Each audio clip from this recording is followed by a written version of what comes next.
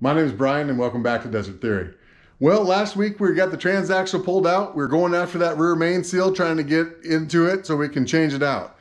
Well, after getting the flywheel off, we realized that that rear main seal on this car is behind the crank. So we have to drop the oil pan out and then reach that uh, rear main seal from up underneath. So we'll see how far we get on that tonight, but uh, that's the plan. So here we go.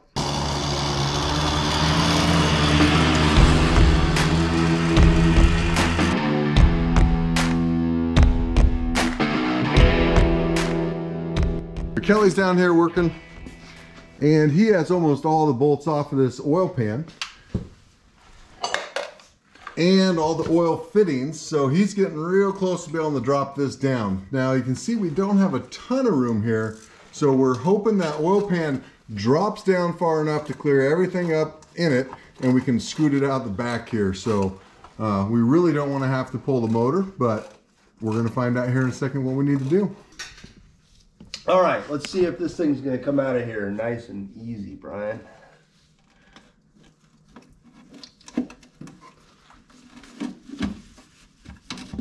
Oh, it's so close. It does not, it does not like that bracket though. You can see he's kind of fighting that bracket up front. We don't want to be fighting this bracket. It does not like that. All right, Cal, I'm gonna push on it.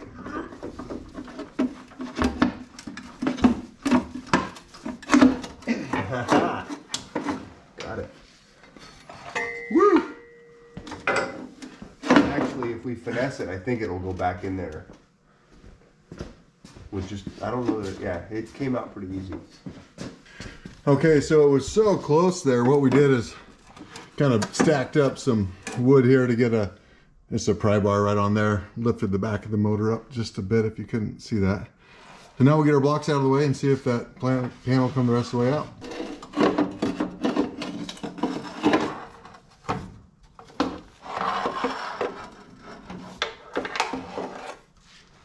Okay, so that is pretty cool. We got it out. There was just enough room there. So Kelly, can you show that gasket? It looks to me like the backside of that gasket's actually deteriorated too. Yeah, so this this is part of the pan gasket, and this part is is rubber. It's kind of starting to fall apart, probably due to the fact that it sat for 10 years um, and didn't get run a lot. So that happens. The rubber kind of gets hard. It doesn't seal and then a leak creates, or excuse me, a leak starts happening, and then it uh, it needs to be taken apart and put a new seal in.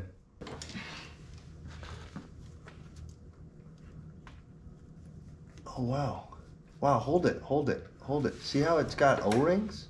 Uh-uh. This one's got O-rings, Brian, that are actually kind of holding it together. Pull that again. It's a little different style. There's no way to. The, the engine builder must see that. Maybe that's the type of steel seal it is. Just rip it out, break it. Is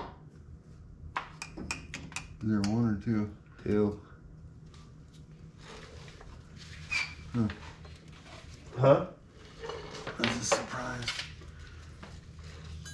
Is this a one piece? It's two piece. Is it? Yeah. Oh, it's not. It's a one piece. Wow. You feel how hard it is. Yeah, so this thing is just so old. Yeah, I think this will be a pretty quick clip on the video. I don't think we're gonna spend a lot of time on this one. No. This is one of those that it's like, good lord, it takes all night to do, and it's three minutes of YouTube. Because it's boring. It is, but we're not boring. I mean, we. I need a hole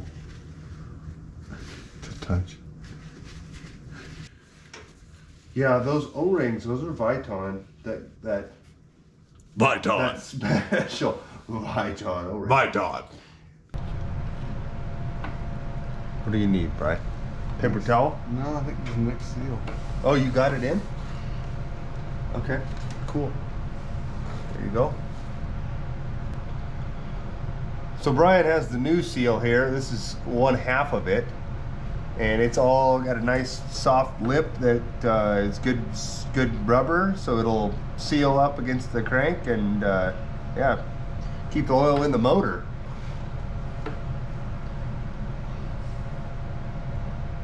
So then it was saying like about a 3 eighths of an inch to one side. So push the other one through. Oh, that's good. That'd be good.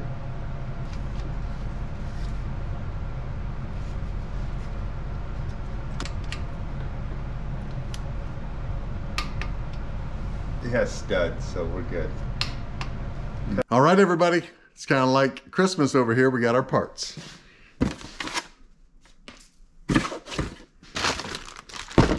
Oh, the big Heim joints. Those are for the trailing arms. Things are massive and expensive.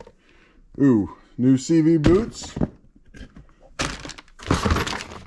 New bolts. Clutch slave cylinder. Okay. Look at that. So that is a brand new Fortin CV with the brand new ball bearings, cage, star. Man, that looks really nice. It costs a lot, but that looks really nice. What else? We have grease.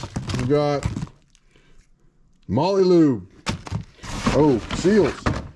Oh. There's that uh, bearing seal. Remember the one that Kelly um, showed you the trick where he drilled through with the sheet metal screw to get something to pull up out of there and not ruin the bearing. Um, what else? Oh, this is our clutch clutch alignment tool.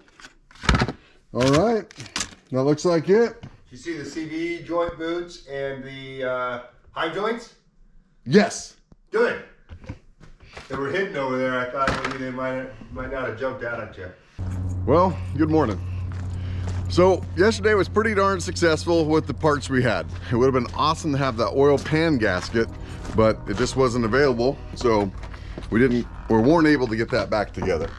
Uh, this morning, I think I'm just going to wash the trailer, get the Baja cleaned up, but I was kind of, we were thinking last night, and I'm just, I feel like we've talked about it 30 times now, but I feel like we've always done a poor job of explaining what the CV joints do. We talk about the grease and how it's hard to get out, and but we don't really explain well what it does. So I'm gonna try it again.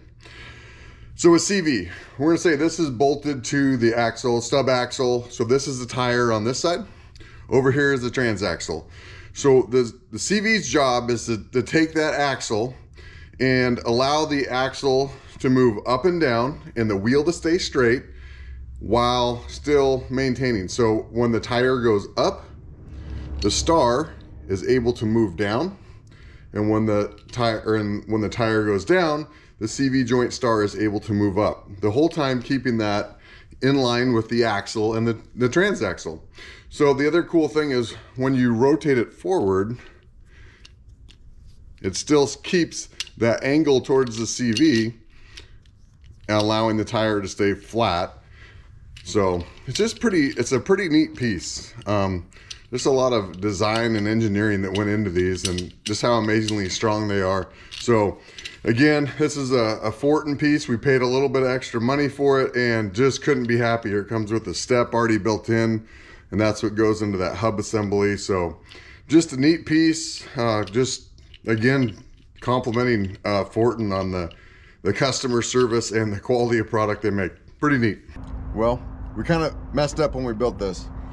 We don't have a we don't have a cup holder. And a cup holder is kind of a handy feature when it's street legal. kind of crazy. Technically, I'm not sure it's all the way street legal, but we do have license plates for it. That's close enough, right?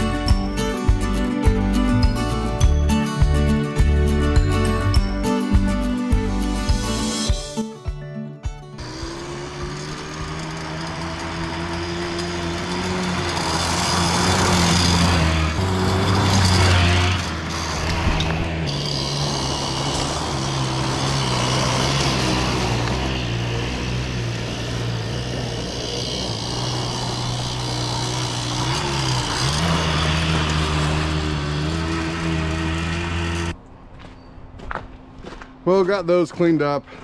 I think I better get out of here and do some projects at the house for a little bit. But uh, I, don't, I don't know if I've actually showed this on uh, YouTube yet. So keep saying that uh, Kelly's dad, Bobby, owned a wrecking yard and had a lot of stuff. And uh, this is kind of a little lean-to with lots of parts and pieces. And anybody need Volkswagen parts? Leave a comment if there's some certain Volkswagen part you need. I bet you Kelly might be willing to make a deal on some of this stuff. Well, I got the uh, trailer and the Baja cleaned up. I need to get out of here and get home and do some chores. Um, next week should be pretty darn fun getting that oil pan gasket and starting getting this thing back together. Thank you for taking the time to watch us. Please like and subscribe.